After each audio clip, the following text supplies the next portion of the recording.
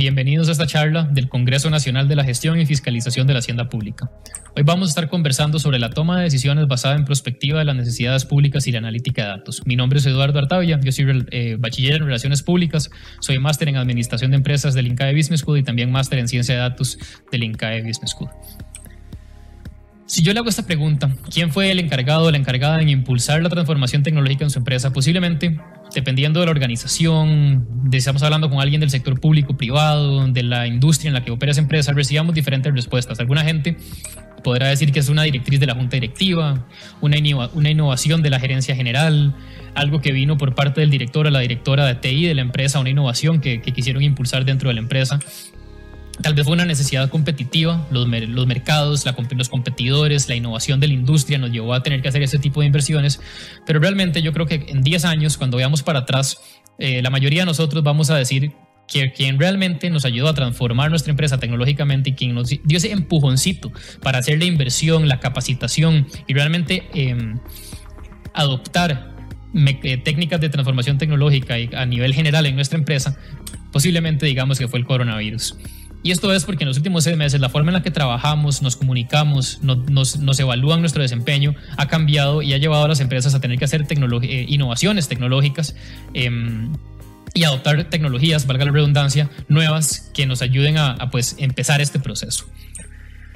¿Por qué hago esta introducción? Porque hace como tres años sale eh, The Economist, la revista estadounidense, y nos dice que, el, que ya el, el, petróleo no es el recurso más valioso del mundo, ahora es la data. Y hay muchas empresas se ponen, se ponen nerviosas, muchos líderes dicen, bueno, pero yo tal vez no entiendo también este tema, invierten en mecanismos de captación de datos, tal vez modifican un poquito su CRM o algo por el estilo. Y realmente antes de ejecutar un proyecto con datos, yo quiero que entremos a cuestionar esta frase. Yo realmente no creo que, que la data sea el, el, recurso más valioso del mundo en el siglo, en el siglo actual. Creo que tal vez tiene el potencial de serlo, pero realmente si la comparamos con el petróleo, pues la comparación es muy directa, es, muy fácil de entender. Si yo me encuentro un barril de petróleo en mi casa, por alguna razón, eh, yo me meto a internet y en cuestión de cinco minutos, de menos de un minuto, ya sé exactamente con cuánto valor adquisitivo cuento. Yo sé exactamente cuánto vale ese, ese, petróleo en los mercados internacionales. Si lo quiero vender, puedo decidir si me lo guardo un ratito más y tal vez espero a que valga más o si creo que en el futuro él se va a devaluar, pues entonces decido venderlo en este momento. Pero si yo realmente les digo a ustedes, de mi empresa, resulta que mi empresa tiene un montón de datos ¿Qué, hacemos con eso? ¿Cómo, ¿Cómo, le saco yo valor a eso? ¿Cómo le pongo un número? Tengo, este, estos datos valen 100 dólares, valen un millón de dólares. Realmente, ¿qué, significa tener un montón de datos?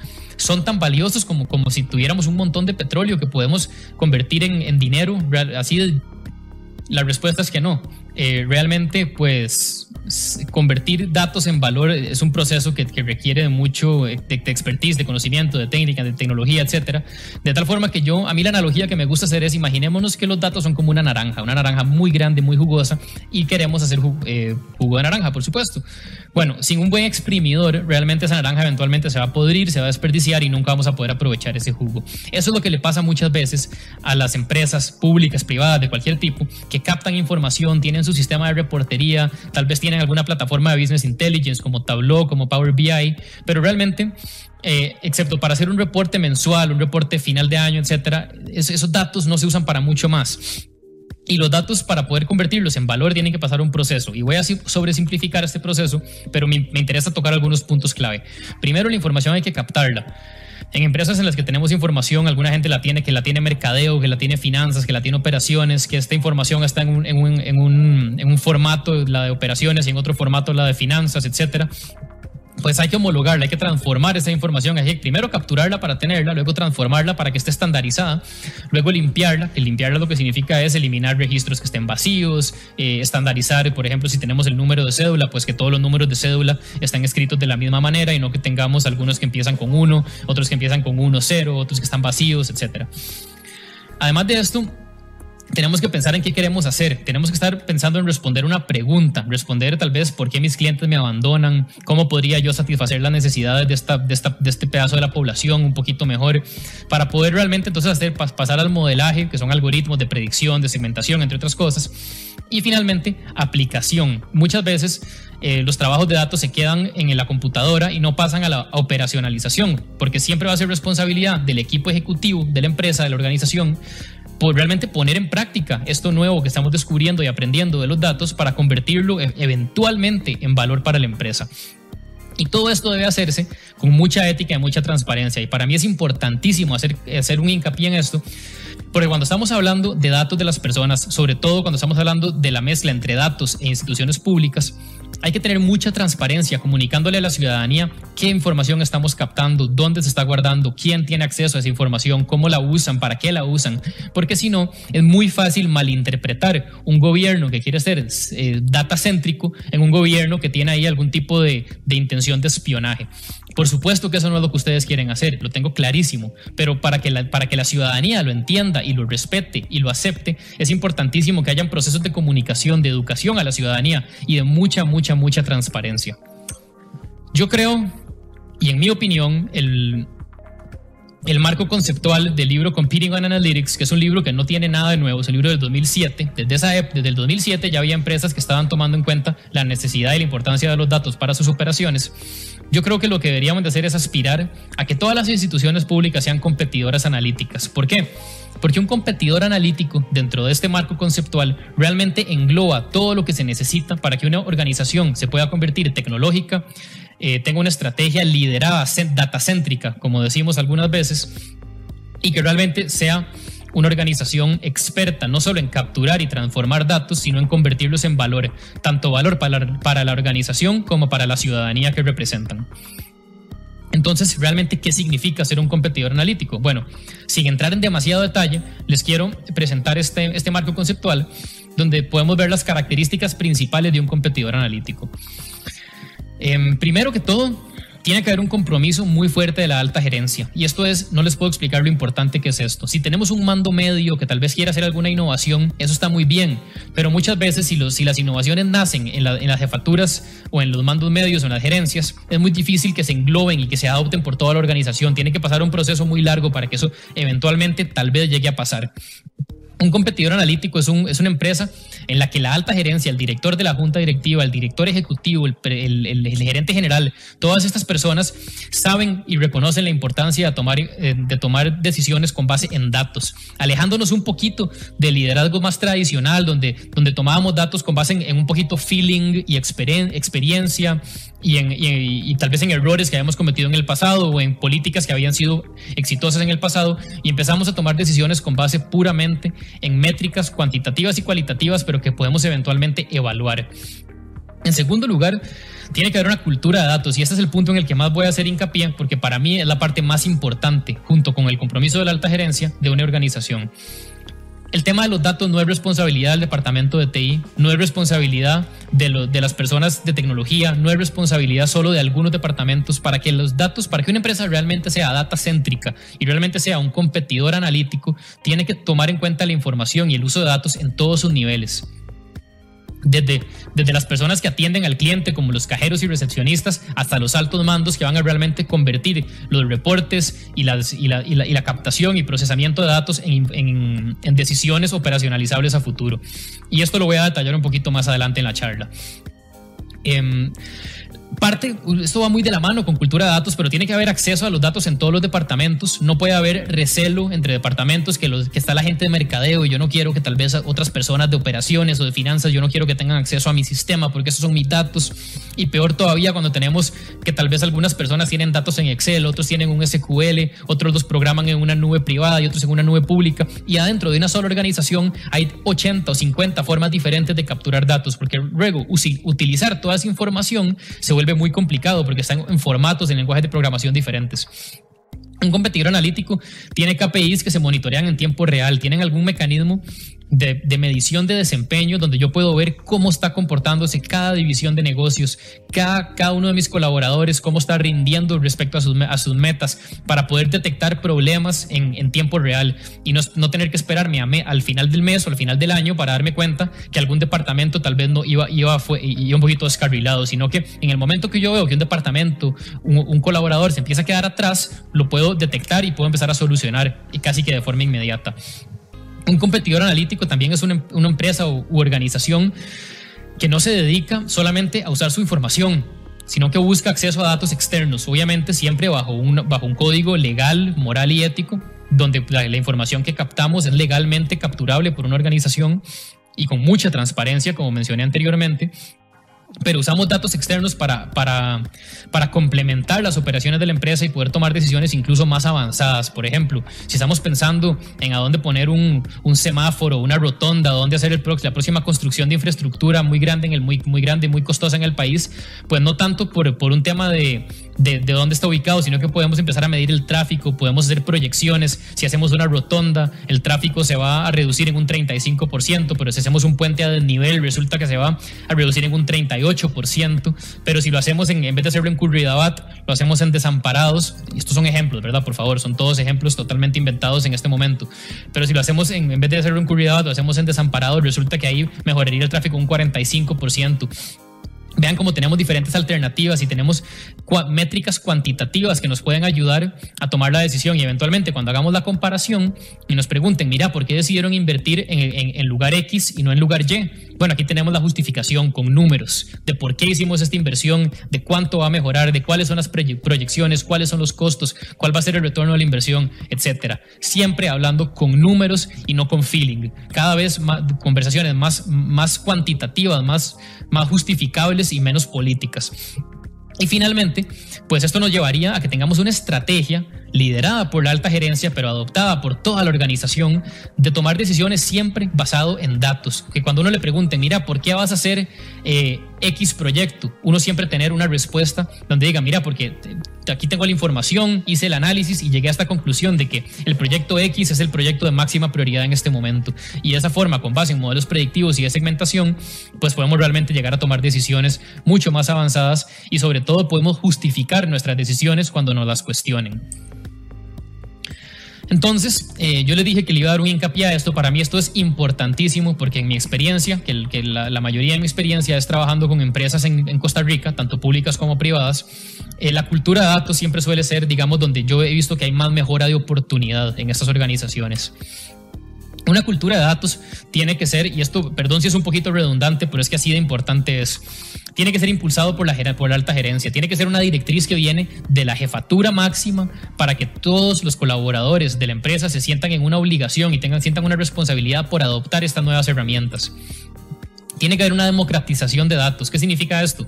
Que los datos van a ser accesibles para toda la organización. Por supuesto que hay datos que, por, que, yo tal vez quiero que solo puedan ver mis gerentes o datos que son un poquito más exclusivos por la sensibilidad de los mismos. Pero estamos hablando en términos un poquito más generales. La mayoría de los datos deberían de ser accesibles por toda la organización.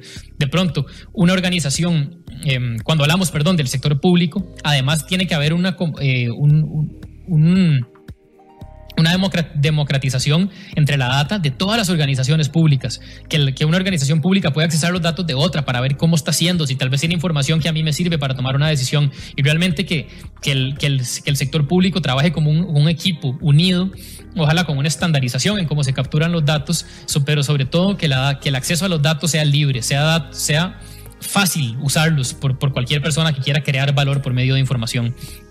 Otra muy importante, no depende de los colaboradores de TI. Y por favor, esto no es ningún tipo de ataque hacia la gente que trabaja en, TI. Eso es, el departamento de TI es sustancial y es muy complementario con el departamento de datos, pero son capacidades y técnicas y preparaciones académicas diferentes.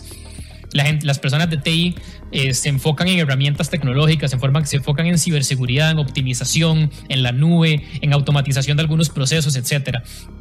En cambio, eh, un departamento de data son personas que están acostumbrados a manipular datos, a hacer modelos predictivos, ya han llevado cursos altamente estadísticos y matemáticos para utilizar la información que, el, eh, que la gente de TI está ayudando a almacenar, a estructurar, a tener eficientemente siempre disponible.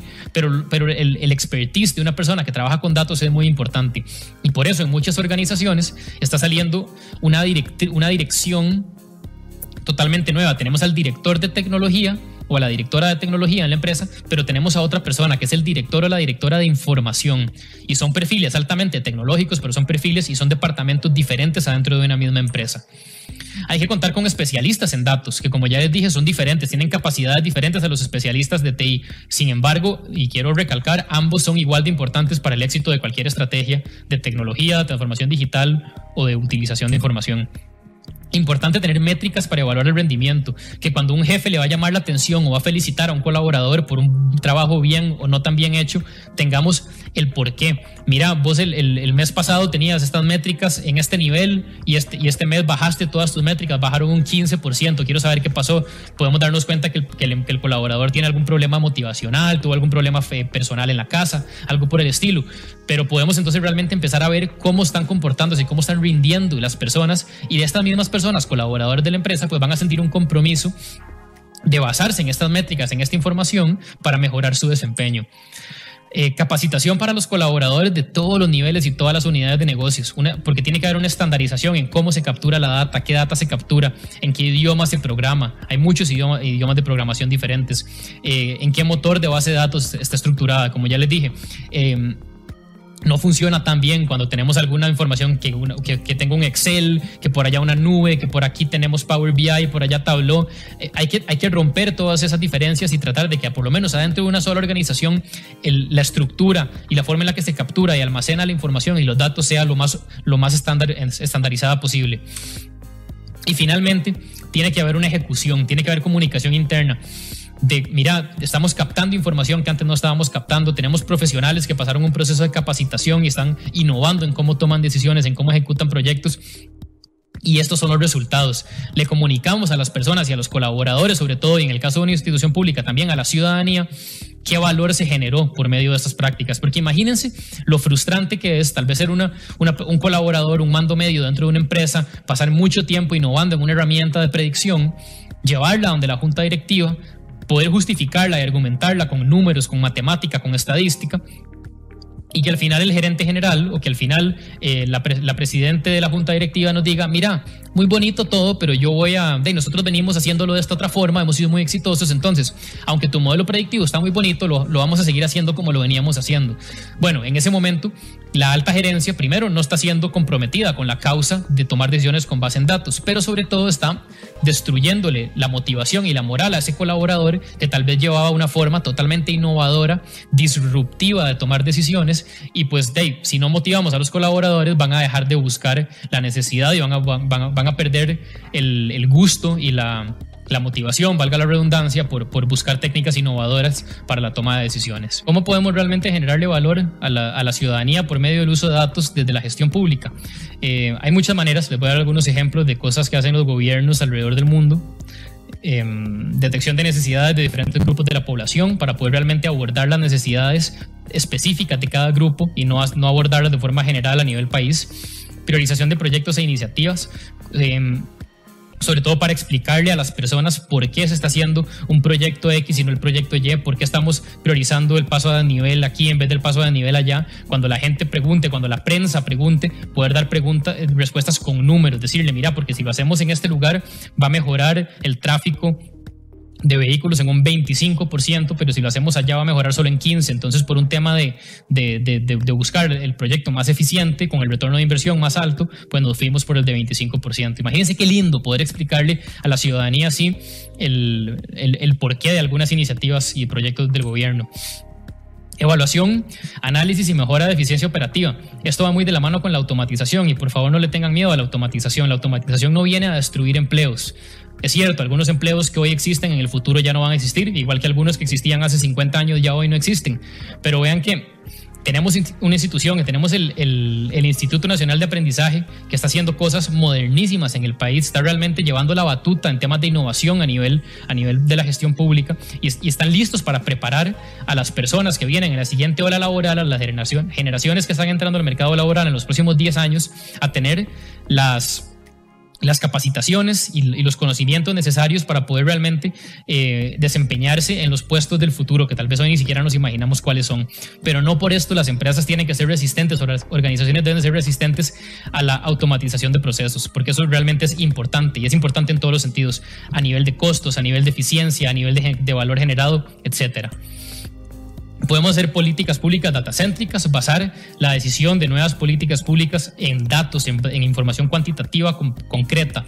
Respuesta a crisis y catástrofes. Imagínense en el mundo en el que vivimos hoy del coronavirus, por eso lo puse en amarillo, porque es más relevante que nunca todo lo que se podría hacer, todo lo que están haciendo algunos países a nivel mundial con base en datos para mitigar la pandemia. No que en Costa Rica se haya hecho mal, pero definitivamente hay un área de mejora en el uso y la manipulación de información de la pandemia, sobre todo en su comunicación a la ciudadanía. Control, control y mitigación ambiental.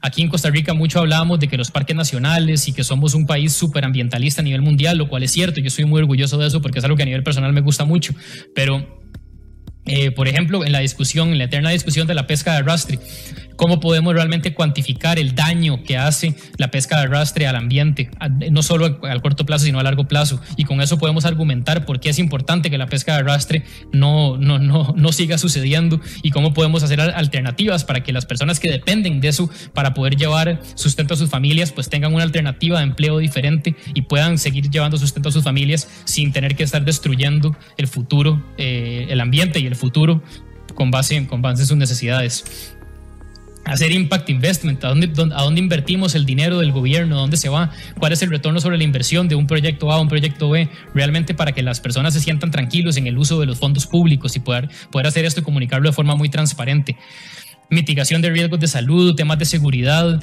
Por ejemplo, imagínense que tuviéramos un modelo predictivo que pudiera predecir la probabilidad de reincidencia criminal de una persona que, salió de un centro de, un centro penitenciario y poder tener algún tipo de, de, las personas que sean de alto riesgo de reincidencia, poder tener algún tipo de control más, más, eh, más específico que contra una persona que tal vez el, el, riesgo de incidencia es muy bajo. Eso es un ejemplo simplemente, que algunos países, por cierto, en el alrededor del mundo lo hacen con el tema de la factura electrónica, algo fantástico para el país. Bueno, ¿cómo realmente se está utilizando esto para el fraude fiscal? ¿Cómo podemos hacer modelos de predicción que nos ayuden a detectar empresas que tienen más alta probabilidad de riesgo fiscal con base en sus patrones de facturación, con base en sus estados financieros públicos, las que, las, que los tengan, por supuesto? Em, cómo podemos hacer la plataforma de factura digital pública un poquito más eficiente y más amigable para el usuario. Em, en este momento es, muy robusta, pero realmente no, es fácil de adoptar. ¿Cómo podemos ir mejorando esto según las necesidades de los usuarios finales, etcétera? Y finalmente, quería comunicarles los riesgos en la implementación de este tipo de de, iniciativas en, el, en, las empresas, tanto públicas como privadas, que yo, que yo en mi experiencia he vivido sobre todo y que la literatura muchas, muchas las, las refleja de igual manera.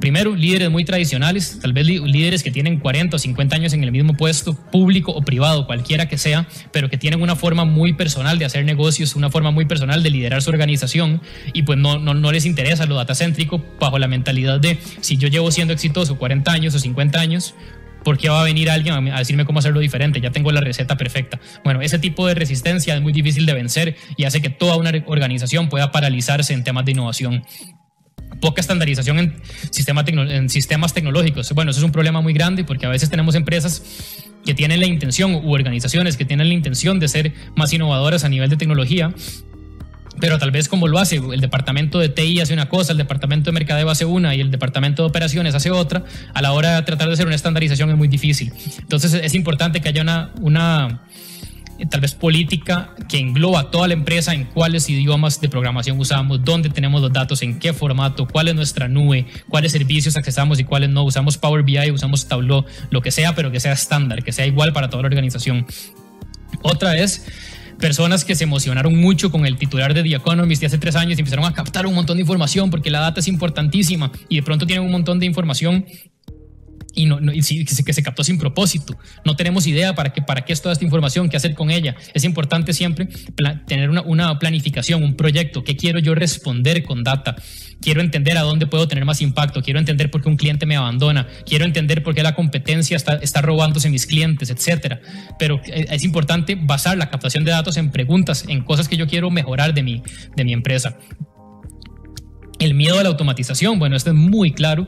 Eh, las personas en, las fuerzas laborales, tanto públicas como privadas, le tienen pánico a la automatización porque sienten que se van a quedar sin trabajo. Es importante educar a las personas y decirles que la automatización viene a complementarlos, a hacer sus, trabajos más mentales y menos técnicos donde su expertise tiene que, tiene que, tiene que, tiene que innovar también, tienen que innovar sus, capacidades personales, pero no es que se van a quedar sin trabajo, es que su rol dentro de la empresa va a cambiar posiblemente a un rol donde van a generar mucho más valor y van a tener mucho más impacto en el bienestar de la ciudadanía. Y finalmente, el número uno, el problema número uno en términos de problemas de implementación, de cultura de datos, de ser un competidor analítico, de proyectos de datos, como lo quieran ver, es la no ejecución.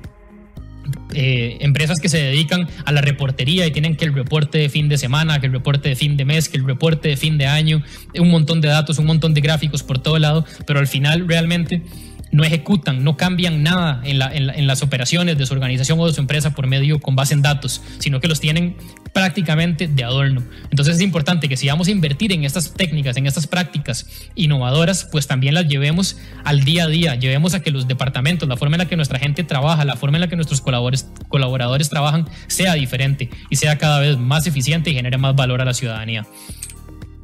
Con eso, pues lo doy cierre la charla. Muchas gracias y estoy aquí disponible para cualquier pregunta que puedan tener.